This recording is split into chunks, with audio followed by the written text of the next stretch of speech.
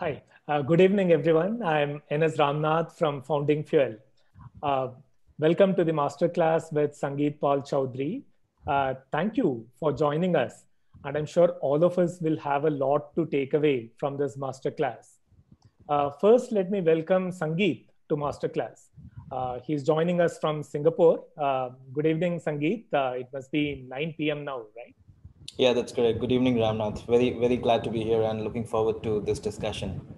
Thank you. Uh, uh, we, are, we, we were actually planning to have this masterclass from Bangalore last month. Uh, Sangeet uh, was to travel, travel here to receive the Distinguished Alumnus Award from IIM Bangalore, uh, but the convocation got postponed and there were travel advisories and restrictions all around because of COVID-19. Uh, so here we are on Zoom obviously this is not the only thing that uh, coronavirus has changed. Uh, it has completely it is completely disrupting uh, businesses economies uh, politics uh, and society.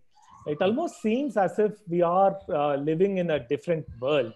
And we couldn't have hoped for a better person than sangeet to help us make sense of this world. The big changes that's happening all around us. Uh, Sangeet has had a ringside view of technologies huge impact. Uh, he advises C-suite advisor, uh, executives, top officials in governments and multilateral organizations such as ILO on the power of platforms and the right way to use them. Uh, thus, he has not only been tracking the uh, tracking the evolution of platforms, uh, but he has also been shaping its evolution. Um, so, this is a part of Founding Fuel's efforts to understand how to thrive in a volatile world today. Uh, to engage with Sangeet, uh, we have our team uh, from Founding Fuel, Indrajit Gupta, hi IG, and CS Swaminathan. hi Swami. Uh, we also have Charles Assisi, who will be engaging with you on the YouTube chat window. Uh, if you have any questions, uh, please post there.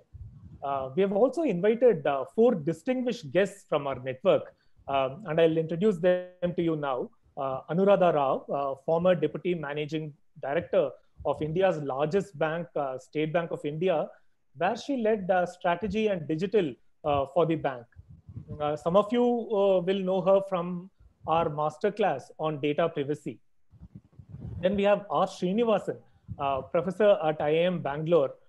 he teaches strategy to his students in Bangalore and in Germany, and he advises startups and has written highly regarded uh, case studies on platforms. And then we have Haresh, uh, Haresh Chawla.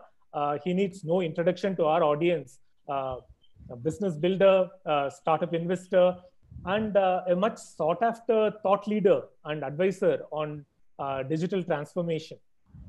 And then we have R. Sriram, who is again no stranger to Founding Fuel community. he co-founded Crossword Bookstores and uh, he now heads uh, uh, Next Practices Retail.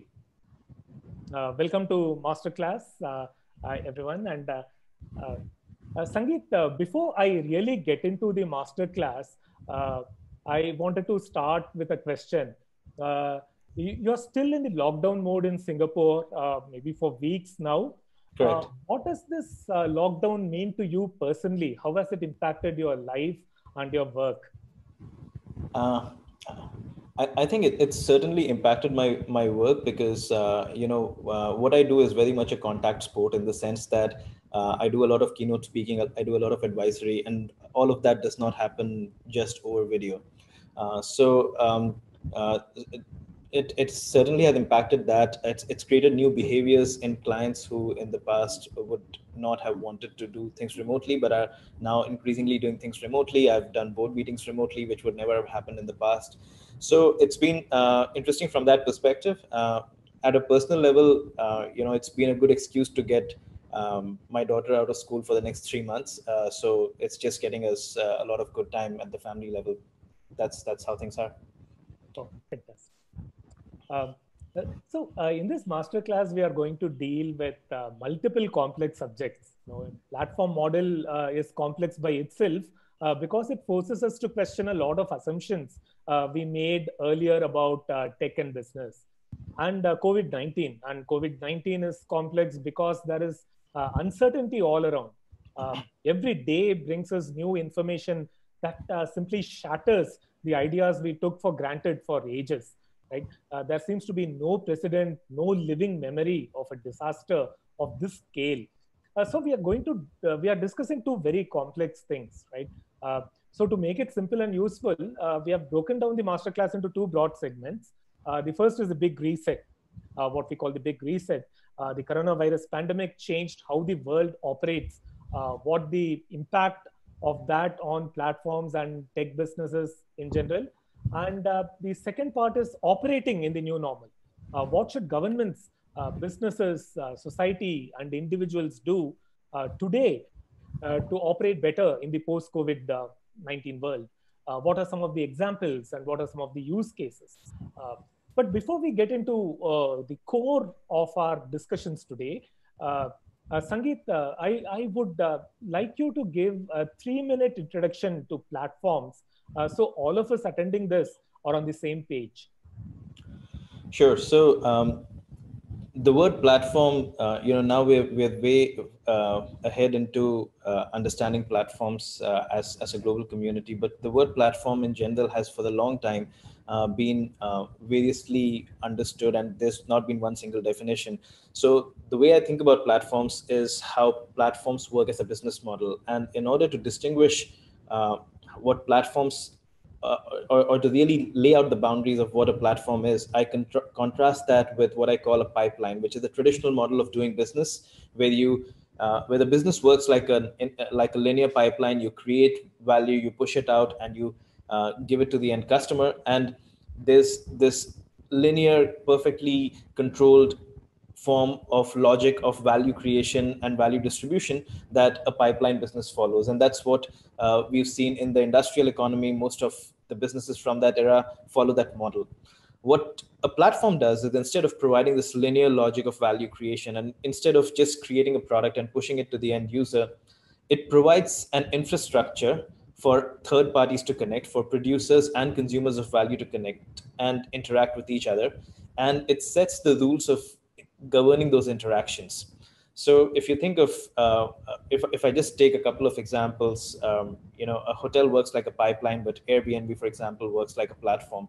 And today, it's not just the startups that are building platforms. What's more interesting is how you can reimagine traditional structures how can you reimagine disease diagnosis as a platform? How can you reimagine energy markets as a platform?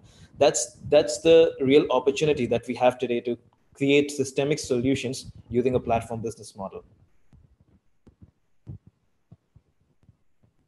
So pipes versus platform, and I guess that is one of the uh, key uh, metaphors that we have to uh, have in mind uh, before we uh, really get into the core of our uh, masterclass.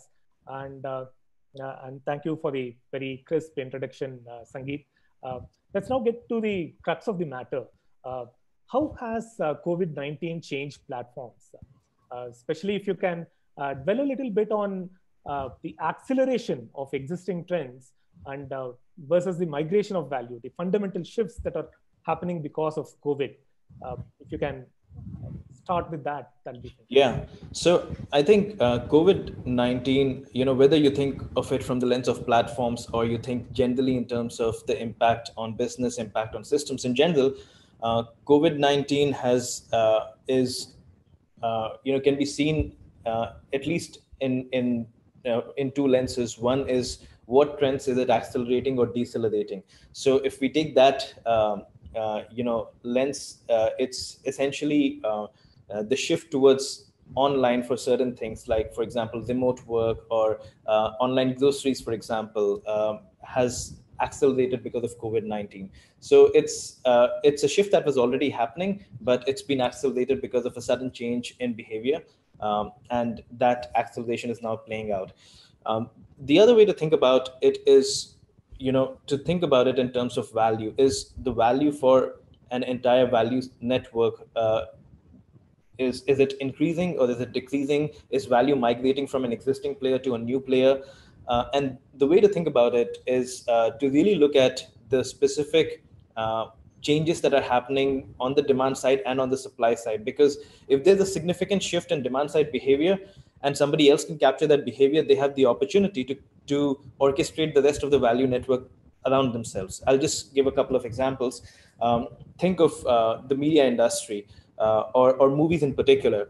Uh, movies used to launch directly to theaters, and uh, a, large part of their ROI would come during this period when the theater would run the movie, and the theaters would have a windowing period when the movie could not be shown on a distribution channel apart from the theater. So it couldn't be shown on Netflix, for example.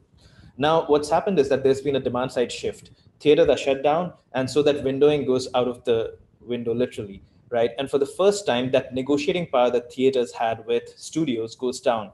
And for the first time, there's an extended opportunity. It's not just a one off opportunity, it's an industry wide opportunity for studios to test a new business model with streaming, uh, uh, you know, launching new movies directly to streaming and seeing if they can actually recover their investment through an alternate channel. And the longer the lockdown lasts, the more the time for experimentation, the more the opportunity to test this business model, and the more the likelihood that in the long term, the bargaining power will shift away from um, a movie uh, a theater to a movie studio, uh, a movie creation studio. So that's a demand side shift, which could lead to a potential value migration.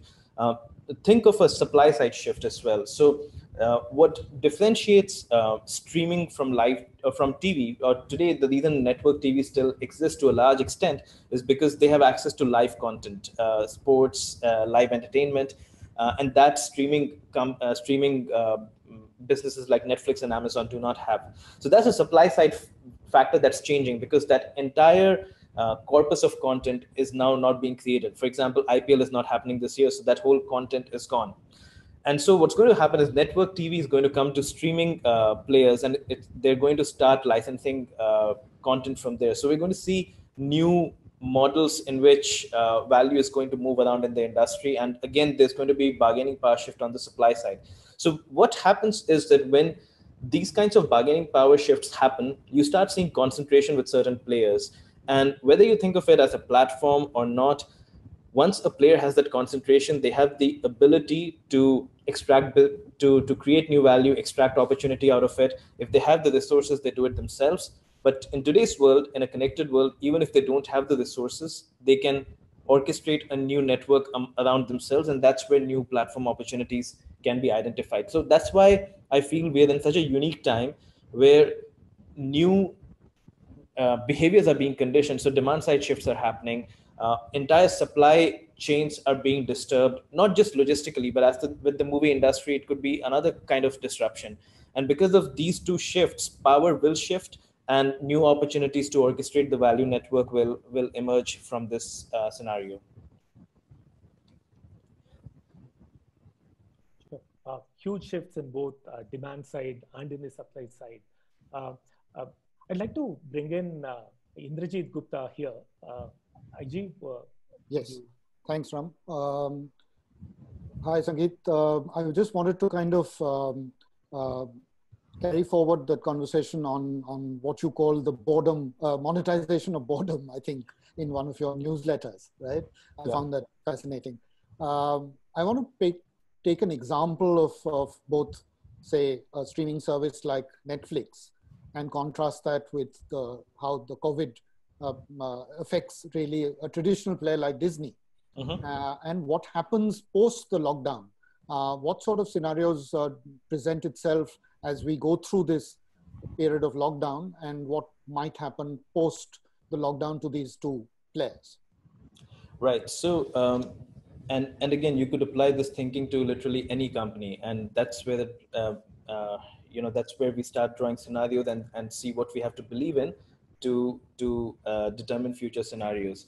Um, what um, what uh, uh, you know when when you think of uh, a streaming player like Netflix, with the two shifts that I talked about, there's a demand side shift, so there's power shifting away from movie theaters to uh, streaming channels, and so there's an opportunity for the streaming players to figure out a new business model, a new revenue model, by which they can provide the ROI back to the movie studio. And this has happened in China already, where uh, Huanxi uh, Studio uh, directly launched with uh, one of ByteDance's platforms, and they structured a licensing plus advertising share deal, which worked out very well for them.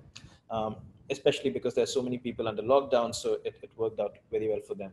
So there's an opportunity to identify these new um, revenue models for, for streaming companies. And uh, really, uh, for a, a, streaming business, the biggest uh, cost driver uh, at this point is the is loss in uh, recurring usage. And so identifying new opportunities like this especially as streaming wars heat up is going to be important for survival in the midterm for some of these businesses because there are multiple large businesses with uh, varying levels of pockets coming in uh, to this to this game. Disney plus is uh, also you know uh, getting into it, it, it, quite effectively.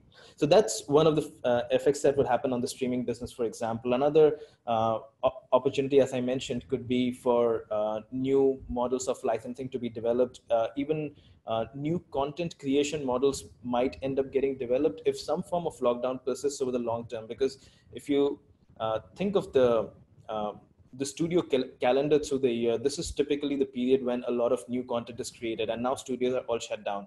So uh, if the lockdown persists, there's there's a possibility, and we'll have to look out for that. So I don't want to conjecture too too much, but there's a possibility that we might see new models in which content is being created uh, remotely, or new forms of content which can be created. For example, uh, just CGI-based content uh, or uh, you know just more solo performances like stand-up comedy for example which could uh, start uh, coming out so so that's um, you know potentially some ways streaming could be impacted now if you take a, a company like disney for example if you think of uh, uh, Disney's business, one of their biggest uh, revenue drivers is the amusement park. And so amusement parks have been shut down.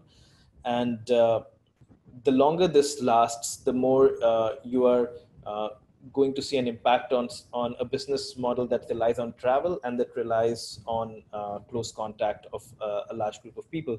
So um, when we think of Disney, um, you know, I would I, I, I usually think of what what are the core assets a business has and uh, what are the core uh, network relationships the business has. So um, from a Disney perspective, Disney has huge intellectual property in, in, the form of various characters that it's created over time. And uh, Disney has this um, uh, approach of creating universes around those characters, whether it's the Marvel uh, multiverse or whether it's uh, you know the whole original Disney universes across amusement parks, merchandising. So there's an opportunity to Disney to really rethink uh, what could it do with its characters. Uh, uh, and one one opportunity would be to rethink what could an amusement park look like in a world that has gone virtual how would you think about uh, unleashing uh, interactivity and creativity with characters for users? it could it be a virtual world, a game? Um, so anything that replaces the the experience of the amusement park and in future augments that experience in this uh, fashion fashion would, this would be the right opportunity to create that. And disney has in the past tried to invest in this direction. So this would again be the right time to to do that for example. So those are you know certain uh, ways i would think about it. Again uh, the more you think about what assets they have what networks relationships they have the more uh, potential scenarios emerge from there. So um, that's uh, again my my my the uh, my my point with all of this is not to conjecture. It's just to say look at the demand side shifts look at the supply side shifts see where concentration is happening see where commoditization is happening and you'll identify opportunities for new business models with that uh, lens. Thank you so much. Ram? Uh, Sriram, would you like to go with you know this covid pandemic has highlighted the need for non-profits to deliver impact at scale. Uh, is the platform business model for non-profits different from that for for-profits can you please elaborate yeah, I think this is a, a very interesting uh, question. I think architecturally, at, at a very fundamental level, the two are not very distinct. The two become distinct when you start thinking about ownership and incentives. So, in a not for profit business model, the funding, for example, for a not for profit platform or a platform in a not for profit world may be less centralized than the funding in a venture capital world, for example. And so the needs to accrue value back to the owner may be less in uh, a not-for-profit world versus in a for-profit world.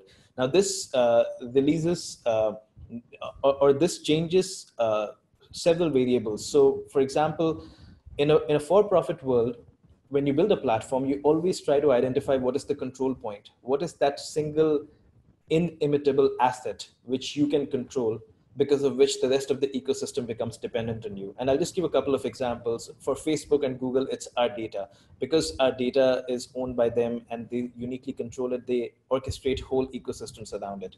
Uh, for Google on Android, uh, Google Maps is a control point because it is so expensive to create mapping data, and because Google has done it for years, it's difficult to replicate it. And so Samsung and other companies have to rely on Google and and cannot uh, you know, work around the rules of uh, Google's Open Handset Alliance. So those these are examples of control points. When you have a control point, you uh, try to uniquely own it. You prevent it from spreading, and and so you try to monetize uh, that ownership of the control point. In a in a not-for-profit or societal context, the need for singular ownership of that control point goes down, which is why you have a greater uh, possibility for releasing important components of your platform into the commons and allowing a larger ecosystem of innovation around what is on in the commons. And this is very different from what we call an open platform in the in the business world because an open platform in the business world is anything that allows participation for non-employees. Uh, and uh, that in itself uh, does not mean that the most valuable parts of the platform are being opened. For for to a large extent it's only those parts that are being opened which augment the value creation capability of the platform owner. But in a not-for-profit world, you could open a lot of uh, several parts of the platform. For example, if Google, uh, if, if, Android was in a, or Google was uh, working in a not-for-profit world, Google Maps would be completely open. It would allow anybody to use it, augment it, uh, expand it, even in ways beyond which uh, you know it, it's it's done today. Because today it's uh, only uh, surface level augmentations that are done which help to make maps stronger. But tomorrow you could uh, in, a, in an open or in a commons world you could take maps fork it and create your own version of it. And that's how uh, in a not-for-profit world the ability to translate platform assets into the commons and unleash greater innovation around it creates the ability to harness uh, or, or to, to provide solutions at much larger scale now, the challenge, um, I, I, would say, again, you know, we talked uh, a lot about this from the perspective of incentives. There, there's no incentive for value centralization as in the for-profit world. The challenge again is that because of a lack of incentives, some of the brightest minds may not be working on some of the most important problems. And uh, because of this, uh, we, we probably haven't seen as much impact as we could have seen in a world where assets, platform assets could be in the commons. Uh, not-for-profits in themselves have their own uh, traditional uh, challenges of moving fast or thinking in terms of platforms. Um, and very often when they don't interpret the idea of a platform well, they may just absorb it to uh, make it work in a way that best suits the existing pro processes. So I, I, guess the point is that there's a lot of opportunity to use platforms for real large scale impact in the not-for-profit world.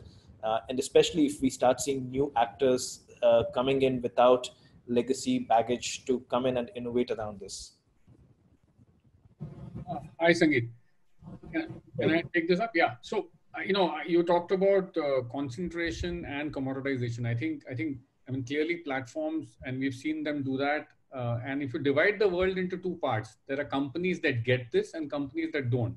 So there are platforms like Amazon, Google, Facebook, whatever platform, they, these are the companies that get it. They have the talent, they have the capability, they have the infrastructure, they have the knowledge, they have the databases, they have the consumer connect. And there are these traditional companies that don't have all this. And they were working toward building these capabilities, but suddenly this has come as a shock. So is the prognosis, what is the prognosis for a traditional firm? Because everybody cannot be Amazon, cannot be become Google and suddenly the power to the platforms becomes enormous because the algorithms will be at work uh, is it a race to the bottom for a lot of traditional firms and, and therefore losses in jobs as well? Um, yeah, so if, if you think of, um, so if, so let me answer that question uh, in a pre-COVID and in a COVID world, right? Even in a pre-COVID world, um, it's, it's not practical for, or it's, it's not pragmatic for um, every company to try to compete with Amazon or to try to compete with Google. What's more important is to uh, figure out essentially two things. One, uh, if a platform is entering your space, what is the right way to work with them or in the ecosystem and avoid commoditization. In some cases, you cannot avoid commoditization. In many, in, in some cases, you, you can if you think strategically about it. So um, uh, if I give just a very simple example of that, uh, and this is again uh, a case study in negotiating power, right? Um, think of Apple Pay. Apple Pay is going country to country and talking to banks to get them on board. Uh, when Apple Pay goes into a country, it negotiates with the bank. If the bank agrees to the terms, that's great. If they don't, they go to the next bank. And one way or the other, in, in the long term, every bank will have to come on board on Apple Pay's terms. Uh, what happened in Sweden was a bit different, where the banks came together and created a common payment mechanism and then asked Apple Pay to be part of their payment mechanism. So they flipped who the platform was going to be. By the time Apple Pay had the discussion, 70% of the population was using that payment mechanism. So one uh, important aspect is that if a platform is really coming in, and if it's one of these big, uh, you know, large platforms, which are way more powerful, not just because of a business model, uh, but because they they have a cross leveraged business model across many other industries, many other profit pools, because of which they can uh, make investment decisions that you can't make playing in just one industry. Um, so that's the first uh, thing in a, in a pre-COVID world. The second thing is that if, if a platform is coming or not coming, you still have to think through what is the future value network going to look like and how can you reorganize it in your favor? How can you prevent yourself uh, from getting commoditized?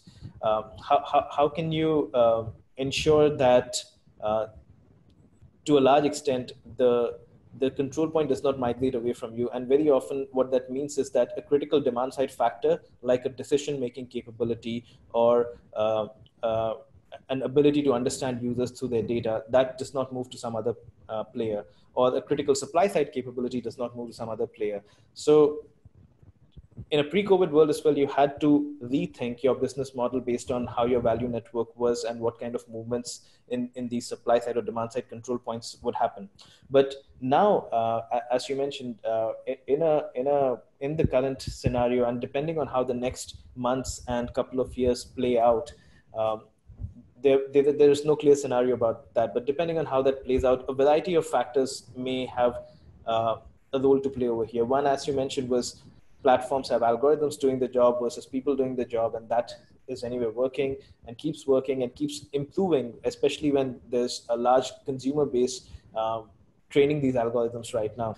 Uh, so um, there's so, so, there's definitely um, going to be a, a, an increase in power of platforms in general. And i believe that that's also because there's the scalability of their business model has allowed them to respond to COVID or be uh, or, or, to to uh, to make transformative moves in really short period of time much more easily than for traditional businesses. So I, I believe that uh, irrespective of how long this uh, period lasts and what the various manifestations of uh, this period are, whether it is uh, you know lockdown or whether it is a lack of travel or whether it is something else how these various factors play out the larger platforms are going to get strengthened even further during this period. At the same time companies that have um, uh, that have been part of the value network of these platforms and have seen a, an important demand side or supply side shift away from them they will become increasingly commoditized. And if you take just a simple example, and this is not for large businesses, but just a simple example, if you think of restaurants uh, right now, and you see restaurant aggregators uh, or delivery companies like uh, Uber Eats, for example, um, there's a clear uh, shift in value ha- happening over there, both on the demand side and the supply side. So, demand side, there's a behavior shift uh, because of which it does not make sense. You can't op- keep a restaurant open and um, when you don't have the restaurant open paying high rental rates in a prime real estate area does not make sense anymore. And so what might that what that might lead to is a supply side shift in value as well because as restaurants start shutting down these aggregators can set up dark kitchens identify the uh, from the data what kind of things sell which restaurants sell which specific kind of items and just license that or or in some cases even deconstruct that or just hire the chef from that restaurant and move all of that into their dark kitchens. And uh, once that's moved into the dark kitchen, uh, dark kitchens are not located in central areas, they're located in the suburbs, they're located closer to delivery. So the entire economic model of the dark kitchen works out much better. So what would happen in an extreme scenario like the restaurant versus the aggregator is that the value or the control point on both the supply side, which is access to uh, the best food creation capability, and on the demand side, which is access to uh, a, a, user base that's locked down, both migrate away from the restaurant to the aggregator. So this would be an extreme kind of case that might play out, and the longer that plays out, um, the the companies in between start getting squeezed if if they're not commoditized, uh, I, I, mean, if they continue to survive, they get commoditized. But in many cases, they may not even survive. So if you just take this restaurant uh, example, this is an extreme example, unlikely to happen in many other places. So I don't want to, uh, you know, make extreme predictions. But I'm trying to use this just as an illustrative case to explain how demand side and supply side control points can completely shift and commoditize the players in between.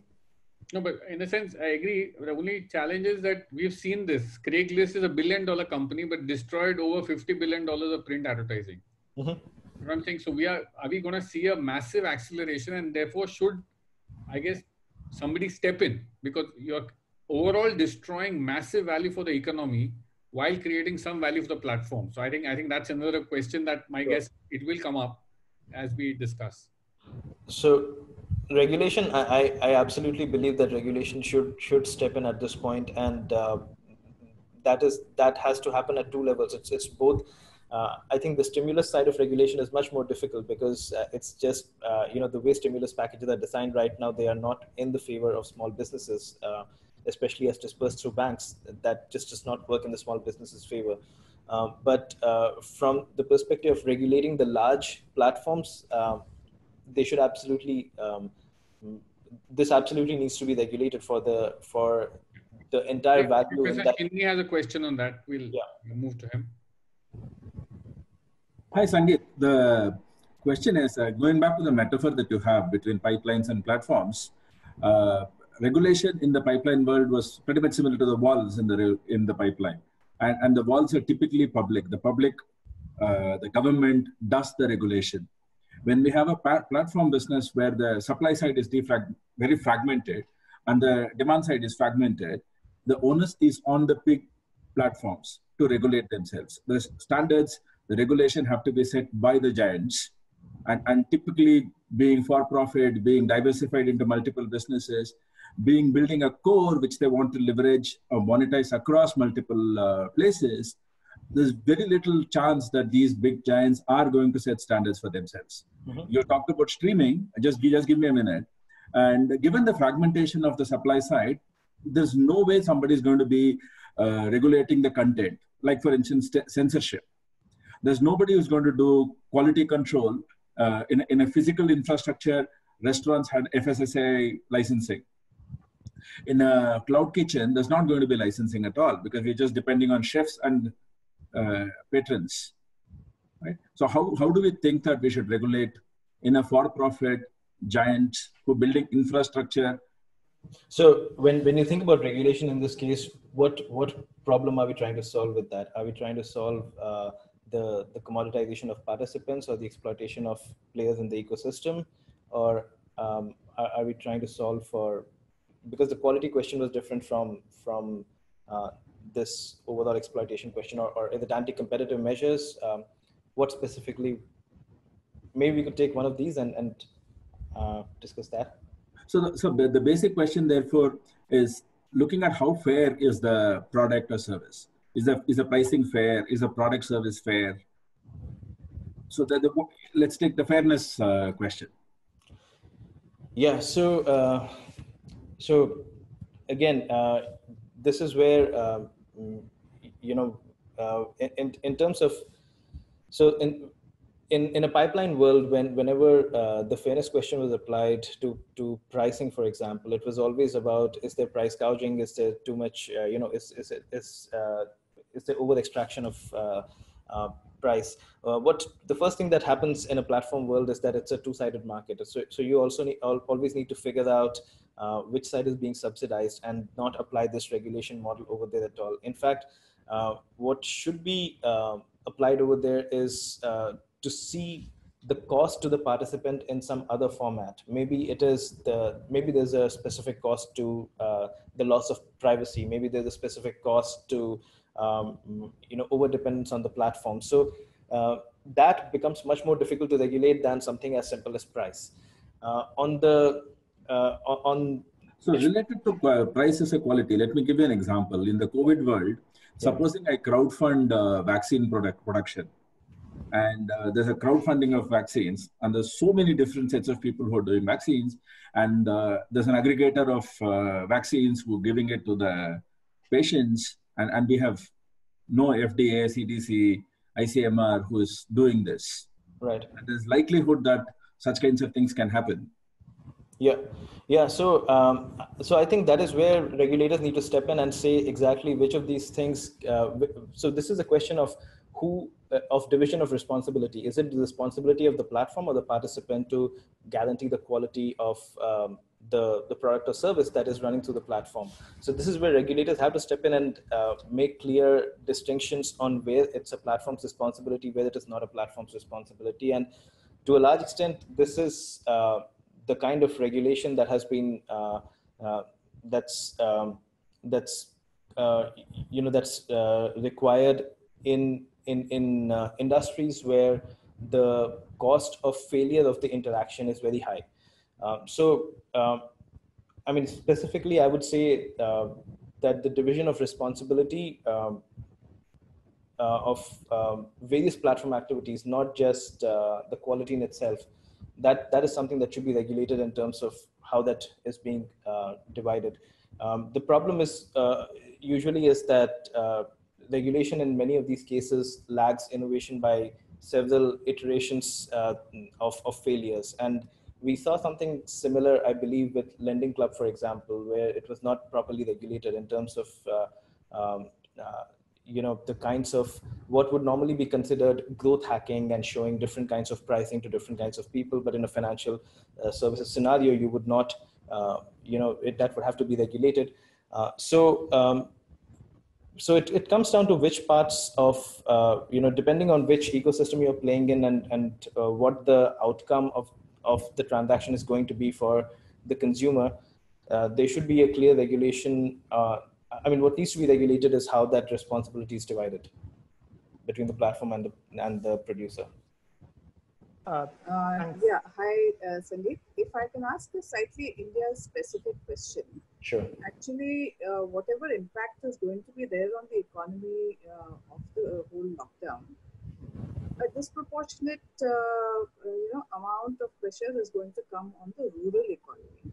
Mm -hmm. Now, do you there are existing platforms uh, in india uh, especially the india stack which you yourself have highlighted in your articles now who will uh, is it possible to build uh, a new model of uh, for the rural economy on the back of the existing platforms or do you see a role for a new kind of platform if so what would be the shape and form of that Right. So, um, so uh, to answer that, I would I would think about what is the what is the difference that we are thinking uh, comes in in the case of the rural economy versus the urban economy. Um, one is potentially um, the simplest one is potentially access right? Uh, but more um, evolved differences or, or more uh, nuanced differences are uh, user authentication or user identity and user reputation, um, you, uh, or um, you know credit worthiness, for example. So uh, what's what I would expect is that what what's needed uh, what's needed when we move from an urban perspective to a rural perspective is not a fundamental shift in the business model of the platform, but a shift in the types of underlying digital infrastructures that are required. So there might be a new form of digital infrastructure required to uh, validate or, or, or, authenticate users, which is not possible with existing systems. Or there might be a new form of digital infrastructure required uh, or digital asset required to um, determine the, the credit worthiness or quote unquote quality of users in the ecosystem.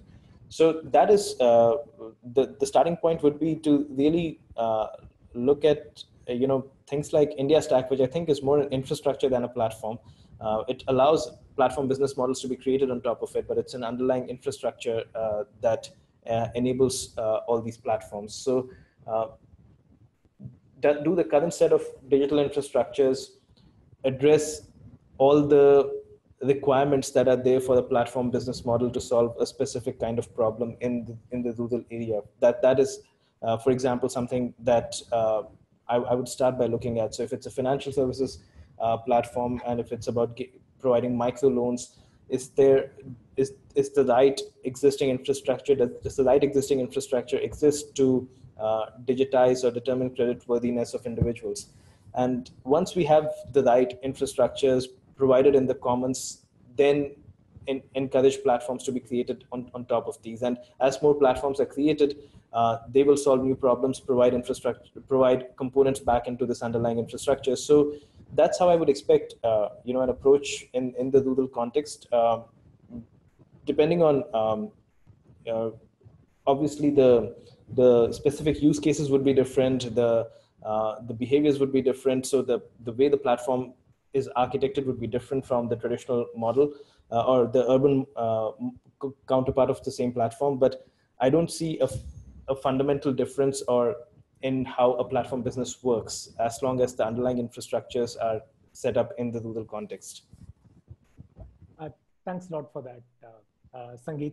A, you know, I can't call it a similar question, but there are two questions from our uh, uh, YouTube channel, both relate to healthcare. so one is one is from Sunil uh, Bhattacharjee, who uh, who asked, my question is post-COVID, uh, how can healthcare providers benefit from a business model uh, that is structured like a platform? And uh, there is another interesting question from my colleague uh, Swami, who asked if WHO, World Health Organization, uh, was run as a platform, how would they have handled the COVID crisis? So if you can kind of address the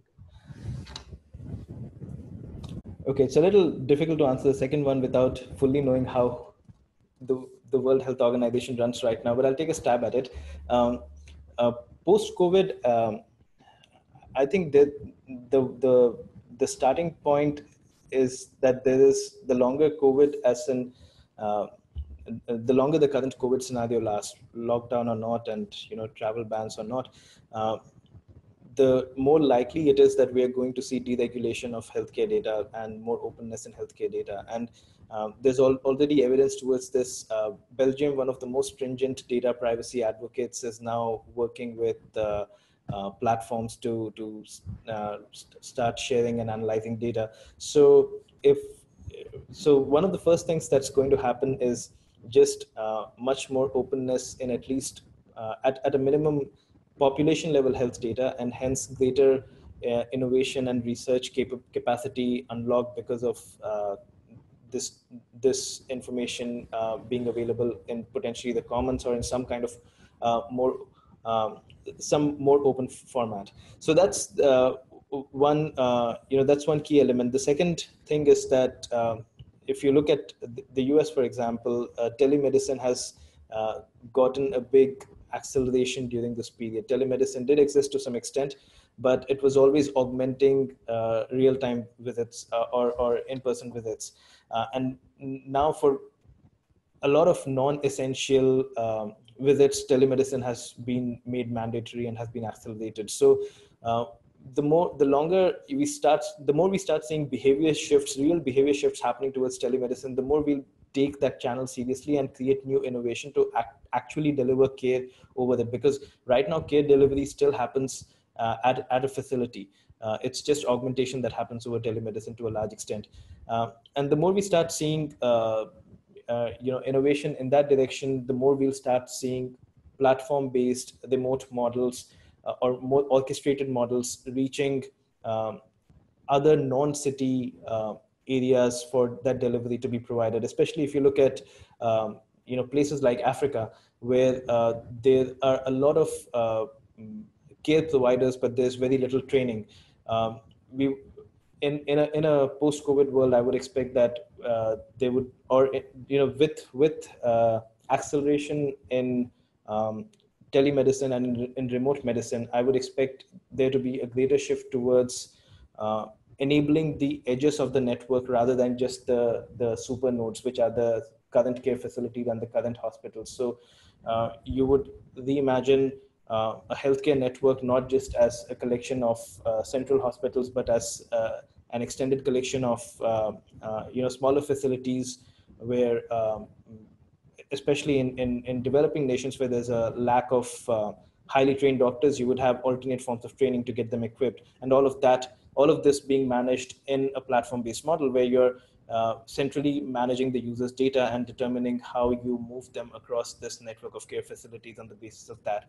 So um, I would expect that uh, because of uh, this this shift towards telemedicine, I, I don't, uh, you know, what history has taught us what uh, Web 1.0 and Web 2.0 ha have taught us is that we are unlikely to see complete channel shifts in anything. We are more likely to see new behaviors created because of a channel shift. So people won't, didn't stop going into stores, people started showrooming. So that was a new behavior that was created because of a shift to online. So uh, we'll start seeing new behaviors in uh, in how patients uh, interact with healthcare services, and we'll start seeing this new the architecture of how these healthcare services are currently set up and, and distributed.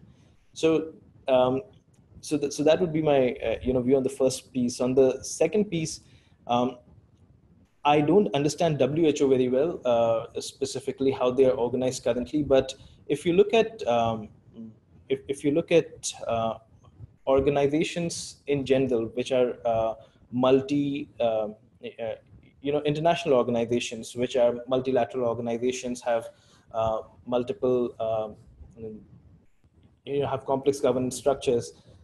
A lot of these uh, were built in the pipeline world and still work in that model. They they create uh, they they put out um, they they create a certain mission or a project and then they equip someone to deliver it and then it works in a very linear uh, model.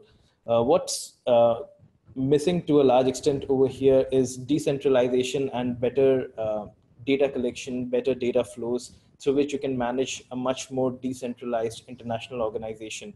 Um, and uh, there's, you know, in, in the last, I would say 40 to 50 years, geopolitically also, we've seen more shifts uh, away towards smaller um, um multilateral relationships rather than multilateral relationships only at a global level. So I would expect that global organizations in a platform world would work in a more decentralized way with more data sharing, with more uh, distributed governance. Uh, I don't expect them to um, leverage technology in, in, such a, or, or I don't expect technology to play such a, a decisively different role that it completely uh, changes the um, the interface or the channel or you know makes uh, what i'm trying to say is that the channel shift or the interface shift is the least uh, is the most easy to predict but is the least likely to happen what is more likely to happen is a shift towards more of uh, a decentralized architecture for something that is as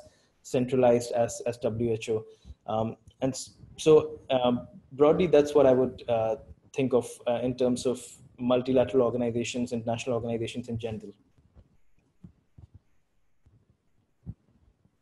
Um, I have a, a, question for you, Sangeet. Given the accelerating growth of the platforms and their power, they widen and deepen inequality across the world in terms of income, power, social, economic, etc.? And also, uh, how do we mitigate this?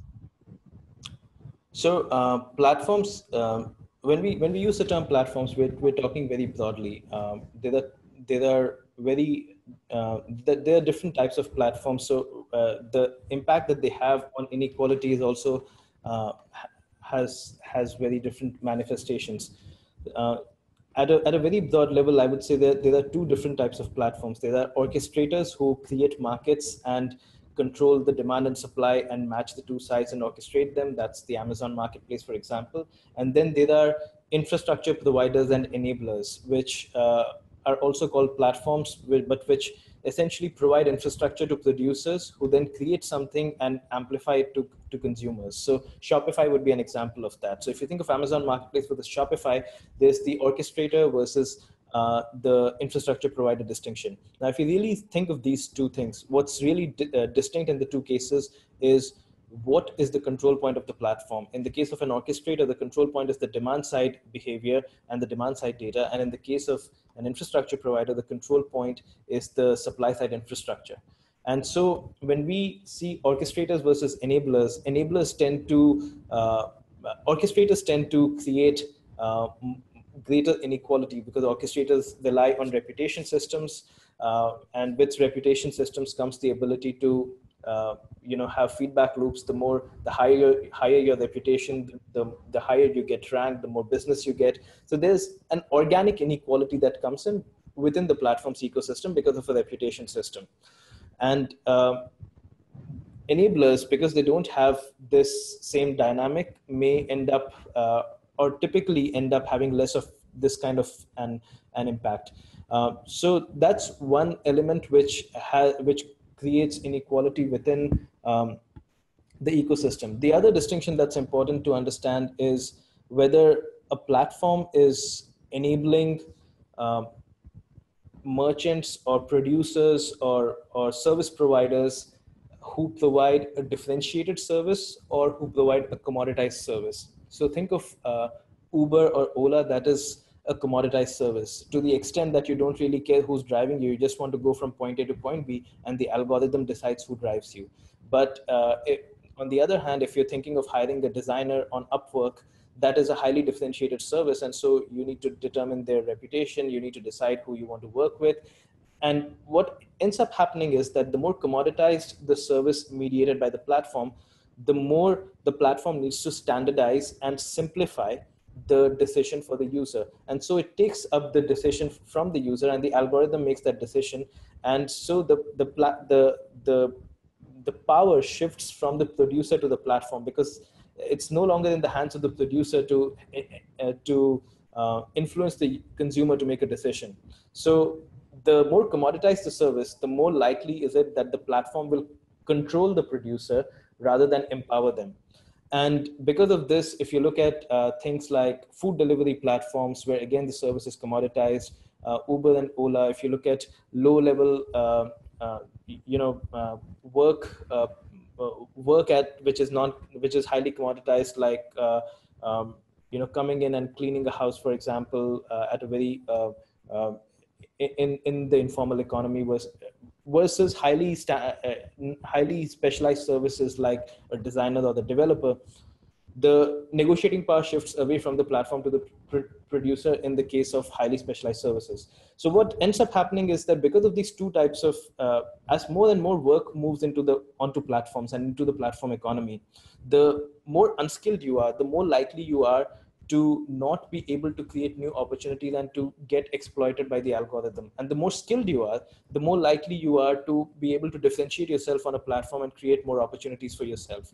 And so, to a large extent, I, I feel that uh, for commoditized work, for um, a lot of blue collar commoditized work platforms and for profit platforms are actually not a solution they're they're actually exploitative and so if you really want to create work platforms uh, in in the lower end work uh, a not-for-profit platform is a better way to go about it. So it's this distinction, uh, whether a platform is an orchestrator or an enabler, and whether the platform is managing commoditized work or non-commoditized work, that really starts determining how it's impacting inequality. And eventually, we've already started seeing this. Once users, I mean, there have been surveys that have shown that once uh, drivers or delivery providers move to platforms that uh, provide this kind of commoditized work, it becomes very difficult for them to find the time to upskill and move to highly differentiated services. And that exacerbates the inequality even further. Thank you.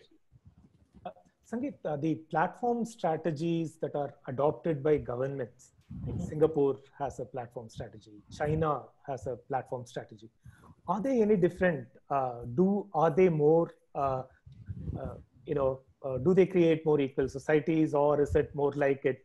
Uh, uh, what is the balance of power between the state and the citizens there? You know, can you kind of give a couple of examples from both Singapore and China, also, which you have studied? Sure. Um, I, I, I look at uh, um, I look at country level platform strategies as uh, a way to increase competitive advantage for countries in a global world, uh, in a connected world, right? So um, to, to explain the country as a platform model, the, the, model that I take is that of Android. So if you look at Android, Android is uh, a multi-party platform, which essentially has three key components. One is that it has open infrastructure, which is the Android operating system. The second, as I mentioned earlier today, is that it has an important control point, which is Google Maps. So you cannot just take Android and create your own handset uh, and not follow Google's rules uh, if you want maps. So you have this open infrastructure and you have a very important control point. And the third thing is that Google, to a large extent, tries to be um, neutral. It does not try to create a car. It does not try to create a uh, handset or does not go very well with that ambition even if it has created handsets at some point. The point is that uh, Google has uh, consistently been fairly neutral on that point. So um, when we think about country level platform strategies, they need to think in a similar way. They need to think about what could be open infrastructure, what could be a key control point, and how could they be neutral so that they have an important geopolitical position. So when I, um, you know, when I worked on this uh, for Singapore, um, the key question that uh, the country was trying to answer was once trade moves online and becomes digital, um, Singapore ha today has a control point on physical trade, which is east-west trade, and so its strategic location allows it to have a control point. Now, multiple things are happening. Trade is moving digital because of platforms like Alibaba. Uh, China's Belt and Road is threatening to pull trade away from uh, this this side, and uh, east-west trade in general is going to go down even more so post COVID 19 as people try to, as countries try to build local supply chains. So, because of all of this, um, there's been this question of how does Singapore create a control point in uh, virtual or digital trade? And uh, the, the, strategy I proposed to them was essentially this that um, Singapore needs to think just like Android and provide critical trade infrastructures to the rest of the world. So critical port infrastructure, critical uh, uh, local, uh, you know, SME digitization infrastructure, and essentially be the central place where all these trade infrastructures are created. And again, uh, the infrastructure in itself is not the platform. It's always the infrastructure with the control point that becomes a platform. So create these trade infrastructures, provide it to other parts of the world, allow them to use it, uh, and, and the proliferation of the, the infrastructure drives standardization. And that standardization allows one single standard to emerge over time. But at the same time, to create greater competitive advantage for your country, uh, deregulate and, and attract complementary control points. So if you're providing trade infrastructure to other countries, uh, pro provide the right fintech capabilities here so that eventually the data flows come back to Singapore when when uh, a loan has to be provided or a credit worthiness has to be determined. So own the critical IP over here, even though the bank in the local country and the ecosystems in the local country may uh, uh, operate, but the API calls will be made back to Singapore, if you will. And through that, create a strong control point of being the hub of all trade related fintech. And supplement that with a free data port so that uh, you know uh, data that comes from say bulgaria is uh, governed over here by bulgarian laws inside a certain sandbox. So that was the idea that you you create this uh, global platform strategy by proliferating infrastructure uh, creating control points over here and having uh, some level of neutrality. Now to a large extent we've seen um, china follow a similar model except that uh, in the case of China, the public-private divide is is a little hazy uh, because the public has a uh, you know the public sector, the government has a lot of uh, interest in private sector, and private sector participants are part are part of the government as well. So if you look at China, China has is kind of following a, a three-pronged platform strategy, and with COVID, it would increase even further. Uh, so um, there would be at least one more uh, leg to that platform strategy. So China's platform strategy is built around the Belt and Road Initiative, and it's built around what is called the Digital Silk Road, which is a set of digital infrastructures that are uh, that China provides to different parts of the world. So the first set of digital infrastructure is in trade.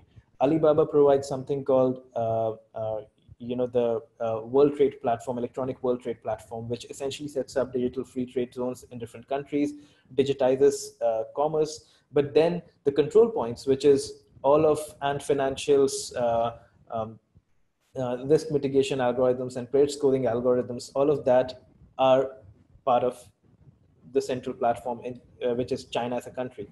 Uh, the second, uh, the second key foot to this tool is is that Alibaba is, is that China through Huawei is providing critical digital infrastructure for smart cities to cities along the Belt and Road Initiative. But all the learning models of how to orchestrate these cities, how to manage city services, they'll decide centrally in China. And so there's again that open infrastructure versus control point distinction that, that comes in. The third uh, vertical in which this is happening is in national um, uh, identification services. So Venezuela, for example, for its entire elections and national identity uh, scheme used China's identity management platform. And China is now trying to provide that because of COVID to all other countries uh, as a way to, uh, you know, uh, help those countries track the spread of COVID, for example. And that is why managing the narrative is also very important in this kind of a scenario. And I guess the fourth piece that China has always been exporting has been surveillance technology. And that again has, has potential to be infrastructure as part of this larger platform strategy. But if you just think of trade, cities, and identity, those three are key components to creating control points across the Belt and Road uh, that China is creating. So that's a very strong, um, uh, compelling platform strategy that they've been pursuing over time. That's fascinating. Uh, I have a somewhat related question, right? Uh, uh, there is in the real world there are, there are these digital platforms and there are things happen, that happens outside platforms. To take an example from Singapore, uh, I mean, it had a, a hugely uh, praised uh, the contract uh, contact tracing app, uh, but you know, uh, suddenly we, you know, everyone was praising it, and suddenly we have the second wave of, you know, infections coming up. So my question broadly is, know, what are the dynamics between the you know the on the on platform world and the off platform world? And uh, how how exactly uh, uh, do you deal with it? Uh, because I, am sure that uh, it is not the, just the countries but also businesses uh, will often have to deal with this question I'm sorry, I didn't, didn't get the exact question. What do you mean by the dynamics between the on platform? The, you know, for example, take Singapore, the contact tracing app. Yeah. you know, it seemed to work pretty well, but suddenly you have the uh, you know the infection rates in Singapore go up, uh, probably for reasons that has nothing to do with the app, sure, right? Yeah, sure. Um, so uh, that's right. So so I, I think um, there are um, with with if if you take the Singapore contact tracing app uh, thing for example, uh, the Singapore contact tracing app worked very well for the use case that it was supposed to work for which was enabling people with smartphones in the higher and you know people who were getting access who are who are information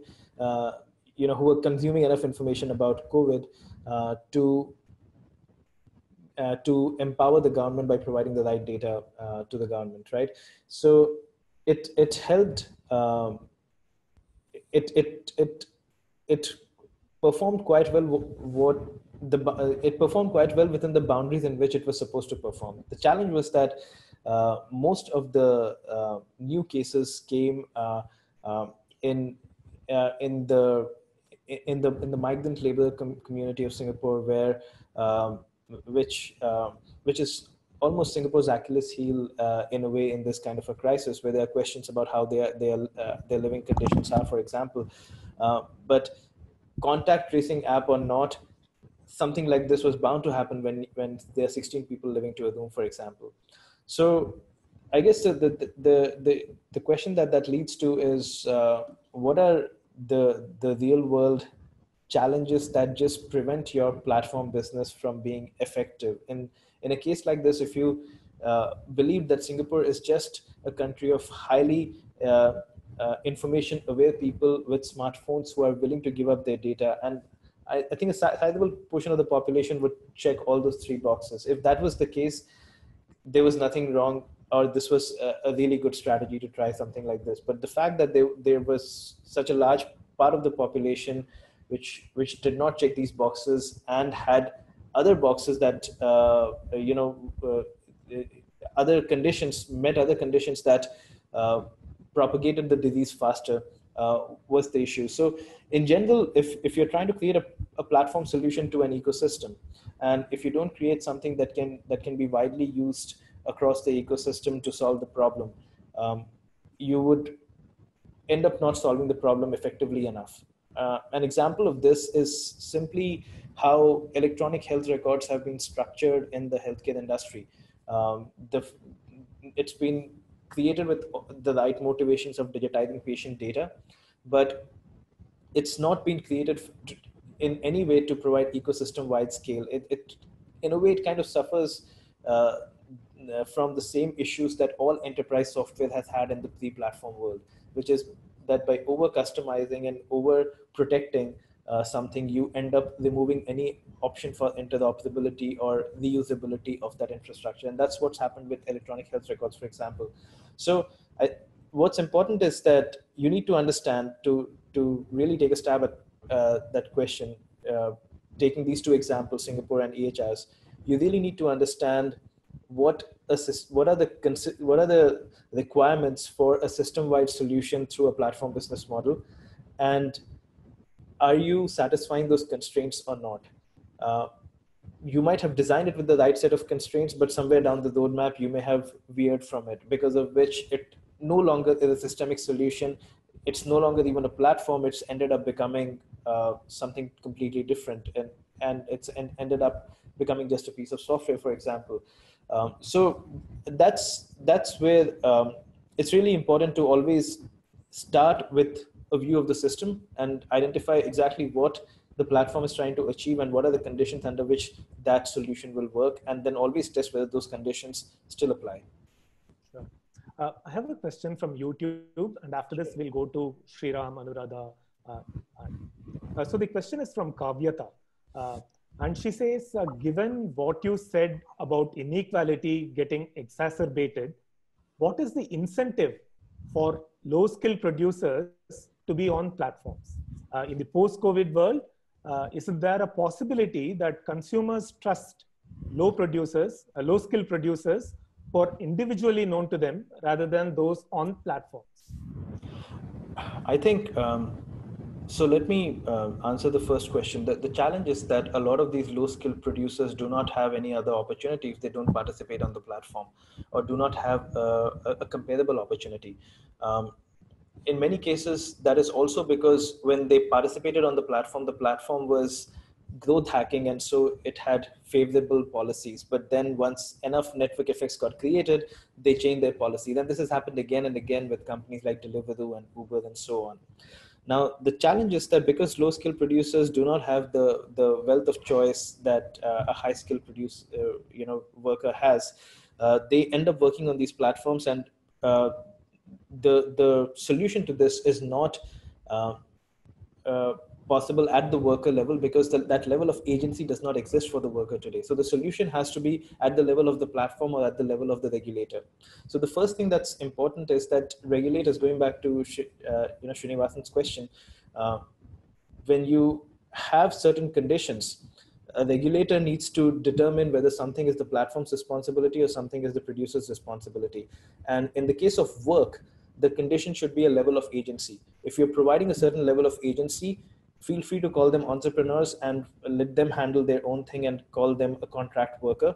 But if you're controlling how work gets allocated to them, the conditions under which they work, the, the algorithmic metrics they need to uh, satisfy on a daily basis, then classify them as a worker. So this is uh, the first thing on which you know debate has been raging, and there have been a whole set of binary approaches to it, um, which have ranged from you know banning the platform to just continuing in code for many days.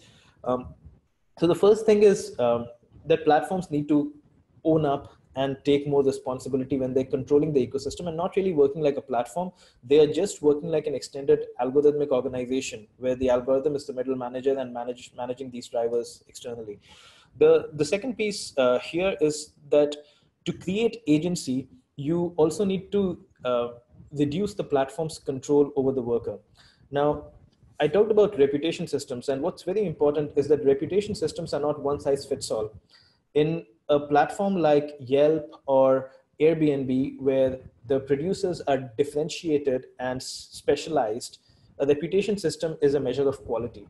But on a platform like Uber, where they are commoditized, a reputation system is just a mechanism to mete out punishment because you are not provided a greater payout if you have a higher rating. You're only removed from the platform if you have a lower rating.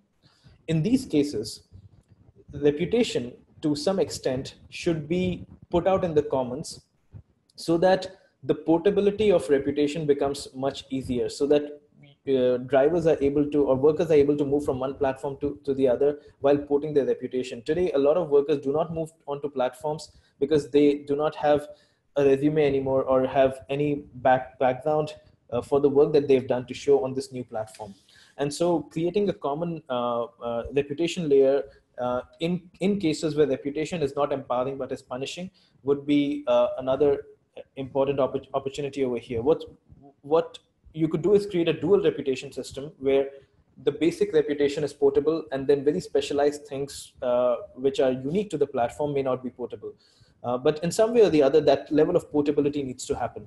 Uh, a third thing is um, uh, if you really want to create agency for the producer you need to uh, allow some level of data openness. Think of it like a, a worker api if i'm a worker i can take my take you know not a data dump because everybody provides a data dump, but I can take an API connection out of the platform and connect it to a third party app.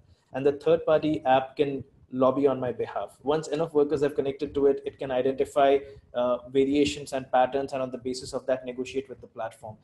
Uh, for if you if we want solutions to scalable systemic, uh, uh, you know, uh, business models like platforms, we need to have systemic solutions like this, where we can fight the platform with data with large scale connectivity to its APIs. So um, it's it's what's missing today is this lack of agency. So that was the first question. There was a second question which is about COVID nineteen. Uh, Post COVID nineteen, won't users want to have this kind of a relationship?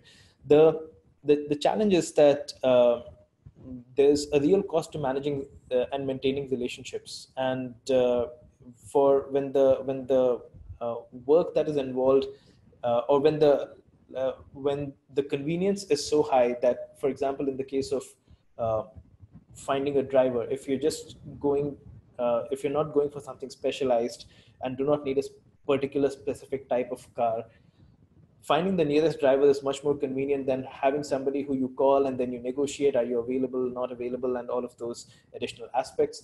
So it's it's going to come down again to um, what is the cost benefit uh, equation and and uh, uh, where the cost of working with an unknown person is hired, they, their consumers may forge these relationships but otherwise it's it's it's difficult and and that is why in specialized services the cost of working with an unknown person is high and the benefit of working with a known person is high so that is the reason why the the power shifts back in the direction of the ecosystem I have a question about scaling platforms. Mm-hmm. Sure. Um, in your book, Platform Scale, you write about the need to scale interactions with the four key actions of creation, curation, customization, and consumption. Can you please elaborate on this? So um, the idea, uh, the essential idea uh, that um, that I uh, wanted to put forward in platform scale was uh, that creating a platform is not about technology it's not about beautiful interfaces it's not about great algorithms it's fundamentally about ensuring that the interaction that you are uh, enabling is efficient and is repeatable and um, this is important because uh, there is uh, you know when when you say it's not about technology people say yes it's about user experience which is fine if you're just creating software or if you're creating a product but if you're creating a platform where multiple uh, different parties contribute to the user experience of every other party, focusing on the interaction is critical. And so um, the the key idea was don't build the software or the infrastructure or the set of tools and services without a view of the interaction. Don't build it optimized for one user. Don't build it optimized for good technology. Build it focused on the interaction. So that was the idea of the interaction. Now the interaction in itself has uh, four different components. There is a producer who creates value and a consumer who provides something in return. And so the producer has to create value. The consumer needs to consume it. But at scale you have many producers creating value and many consumers creating values uh, consuming values. So two important considerations come up. Once you have a lot of producers creating value the search costs increase. And so you need customization. You need to ensure that the thing that is most relevant to a particular consumer is, is provided to that particular consumer. So it's customization or personalization of what is served to them and the second thing that's important is that at scale, you also need to ensure that you have a scalable way to manage uh, quality. And that is what curation uh, focuses on. So that is, that is the key idea of creation, curation, uh, customization, and consumption. My question is about this algorithms. We talked about how uh, a lot of these uh, platforms are doing data-driven algorithms, and that becomes the center for their uh, competitive advantage. And in, in, in this kind of a world, you talked about how APIs have to be open and all of that. You think there's a role for the governments to push for openness of these APIs?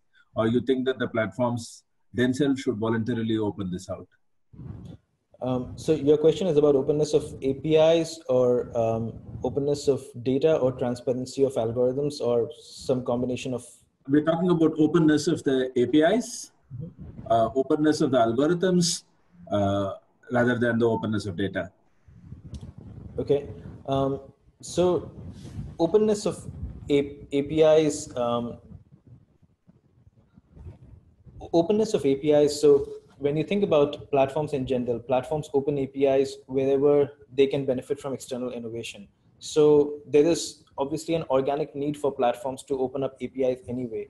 Uh, beyond this, um, if, if you're thinking about the role of governments, that would come from the perspective of are there specific control points on the platform that the platform is not opening access to?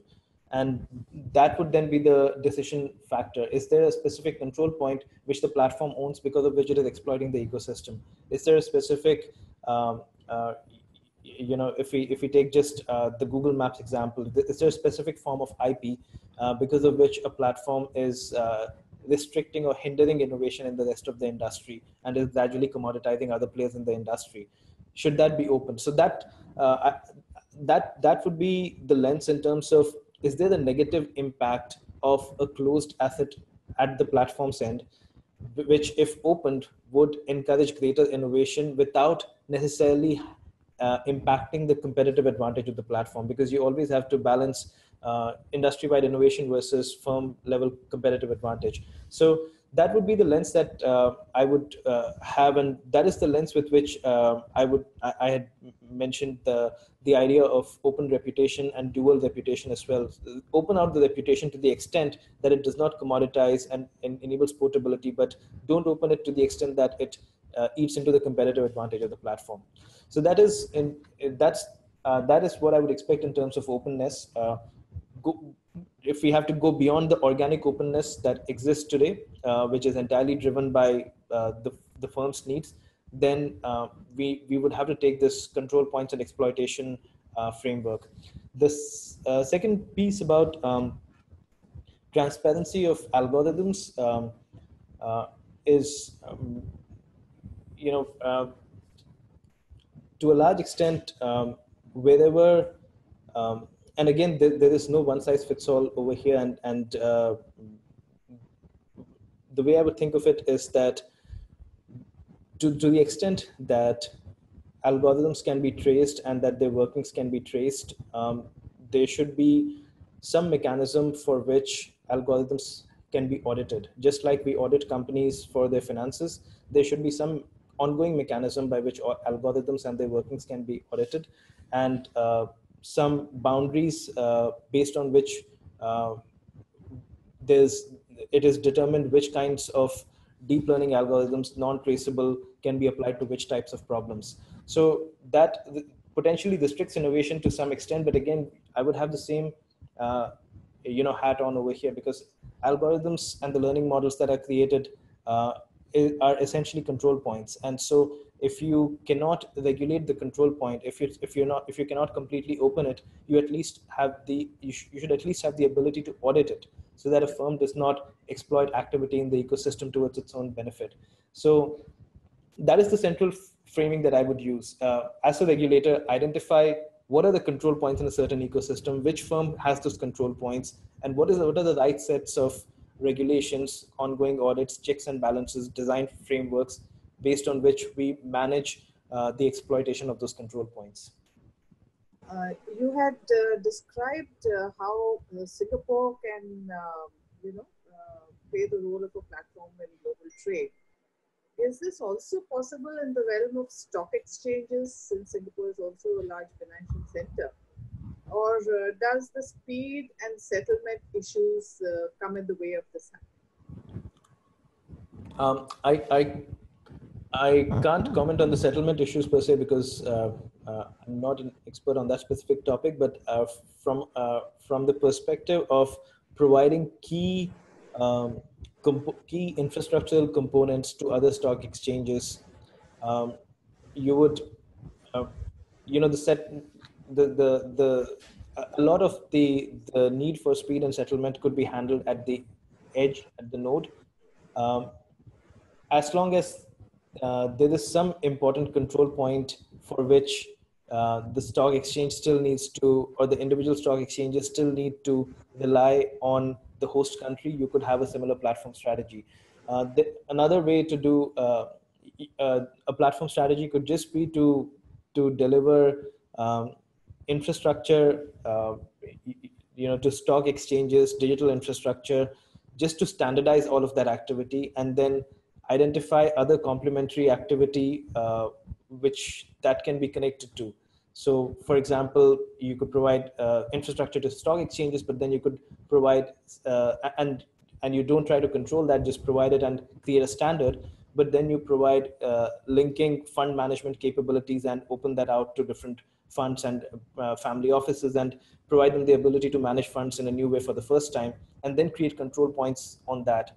So um, there, there are potentially ways to think about the feasibility uh, in that scenario as well. Um, this is how I would uh, approach it.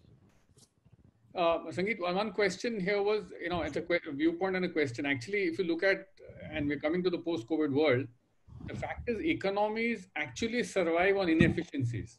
Mm-hmm. Because jobs are created, consumers are inefficient, businesses are inefficient, people don't want to travel far to eat, people don't want to take, people want to pay more for brands. And small businesses or large businesses essentially could bundle services and other components with their offering, right? As a as a counter to let's say the digital tsunami. But now with that window closed, essentially you don't want to be serviced anymore because you don't want to have contact, right? You want to reduce contact. So of course they'll there'll be new bundles coming. But essentially, if businesses become too efficient, so will we see a violent reaction like from governments as well, like we are seeing against globalization? China added so much in, uh, efficiency to the world that businesses stopped manufacturing all over the world. And now we are seeing a counter trend emerge where countries are saying, even if it's inefficient to manufacture locally, I need to do that because I need to, you know, have uh, survive in some manner, continuity. And the same thing will happen on platforms as well. You can't infuse too much efficiency into the market because the destruction will be unimaginable. Yeah. Um, I so if if I take the if I work off the China example on this one, um, yeah. I, I, think the issue that that has uh, that has come up is uh, that extreme efficiency has come at the cost of resilience. It's come at the cost of uh, um, you know not just um, infrastructural resilience, but broader uh, uh, you know system-wide resilience in terms of the the way workers are you know the working conditions in China and how that led currency to as well, and they manage their currencies. Right. Absolutely. So equally the same it holds for VC money, venture capital. Mhm. The amount of liquidity available in the world, which will flow into digital assets, has the potential to destroy. I mean, in a sense, if you decide that you want to be really efficient with your business, you want to be really efficient with deployment of capital, you can essentially destroy millions of jobs globally on a permanent basis. Right. Yeah. So, um, so, so I, I mean, um, if your your question about efficiency is is, um, I mean, how do you define efficiency in this case? Because uh, assume everybody starts selling at marginal cost. Look what's happened to the oil business, right? I mean, look at what's happening. Suddenly, when you see crude oil pricing dramatically dropping, because now coming down to who is the lowest cost producer, who's got some natural advantage built in, built in, and he's destroying all other firms in the market. Right? A similar thing will arise on platforms. Digital platforms are well funded, commoditize the players. Players will then go out of business, right? So essentially, you find that the same phenomena. I'm saying we are seeing a huge pushback on against globalization that's happened was already underway. It happened through politics and would have hit economics later. But I think those trends will now accelerate uh, because there's no choice. C- countries have to now create local capacity, and capacity will not go to the most efficient supplier anymore because other elements will come into play. So I'm saying, much like what's happening on globalization, will that again be something that very quickly governments around the world have to realize that if a platform comes backed by a huge wall of VC capital, it's a disastrous thing to happen to a market. So, you know, regulations will have to move much faster uh, in this uh, new world where traditional players are left with nothing. They're, they, they, they were not digitally savvy to begin with, and they now have no bundle of services uh, left to offer offline. Even showrooming, you know, at least people used to go to stores for showrooming and probably some generation used to continue buying at the stores. Now you don't want to go to a store at all, right?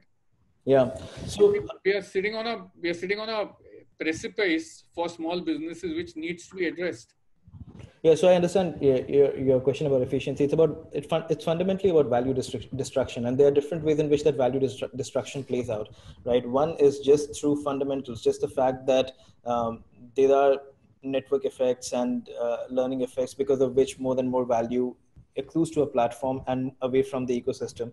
Then there are uh, cross subsidization uh, issues, which is uh, something as simple as Amazon Web Services subsidizing retail in a way that nobody else can, or it is SoftBank subsidizing literally every real estate play in the world in a way that traditional real estate would not have worked with.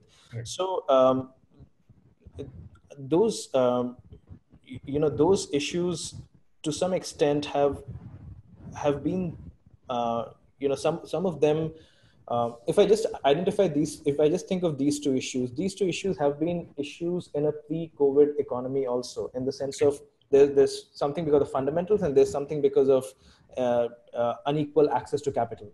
Yeah. Um, and uh, what I guess would happen in a in in a in, a, in the current and a, and a post uh, COVID situation, uh, the issue would the issues that I expect we should be most careful about are sudden shifts in demand side behavior that are hugely uh, that that that that occur for a certain period of time but then are hugely subsidized and artificially extended to completely kill the ecosystem in favor of that particular demand behavior. So uh, if, if if we start seeing something like that then even when things start returning to normal just because a certain behavior is being subsidized it it keeps on continuing and a certain part of the producer ecosystem starts getting starved of, of business just because uh, that behavior is being subsidized in the long run. So those are the kinds of things we should uh, be be careful about. But whether whether COVID or not, uh, whether you know the current scenario or not, um, I, uh, I I I strongly feel that uh, there has to be some level of regulation in terms of what kinds of uh, you know what kinds of consumer subsidies can be provided or what kinds of uh, um, in certain kinds of market what kinds of consumer subsidies can be provided because uh, if you if you don't regulate that you end up destroying the the all the players who are working on all the the regular economics without the subsidy Yeah. So I, I, what I was going to step in and say that earlier they were shooting with machine guns against a guy who would have pistol in a traditional business, but now he's got no pistol left anymore. Right. Yeah. I'm just saying that that acceleration of intervention needs to be done because some of these traditional businesses won't survive the six or eight months and probably two years that COVID will continue to have impact. You know, we're assuming in our brains, we have assumed that lockdown ends, virus goes away, but actually lockdown ends, virus begins in a way. So yeah somewhere intervention needs to happen at a much faster pace because if you see what's happening in India, companies are able to pivot overnight. You're seeing the food delivery guy starting to deliver groceries already. Yeah. Imagine the able no traditional firm can pivot overnight. Right? Netflix will immediately pivot from uh, putting movies to putting live uh, performances by Bruce Springsteen if needed. But traditional companies don't have those uh, mechanic uh, mechanisms available at all.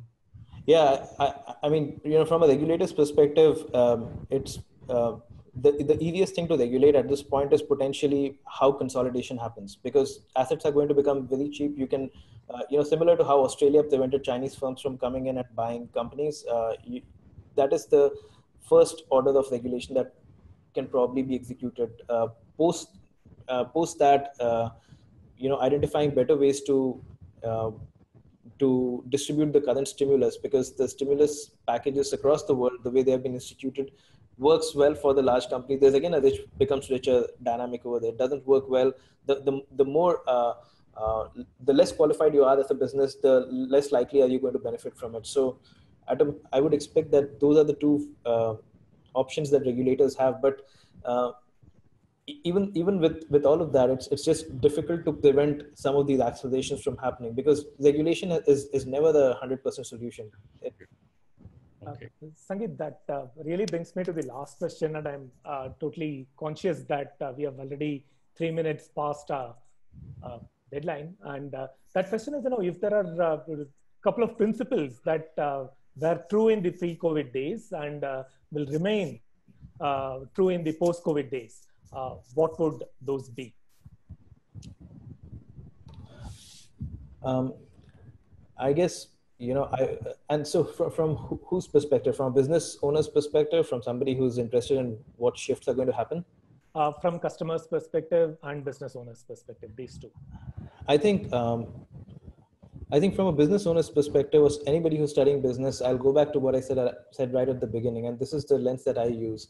Uh, look for uh, demand side behavior shifts that are happening and hence uh, entire demand side shifts that might happen because of that. Look for supply side shifts that might happen because of disruptions of any kind, logistical, creative, whatever. And then look for where concentration will happen and which parts of the value network will start getting commoditized. All business opportunities will start emerging once once you have this lens to to look at the, the changes that are happening. So I'll, I'll just summarize with, with that central framework uh, to look at, uh, you know, what's happening at, uh, around us right now. Uh, sure, uh, that's fantastic. And uh, anything else that you'd like to tell our participants?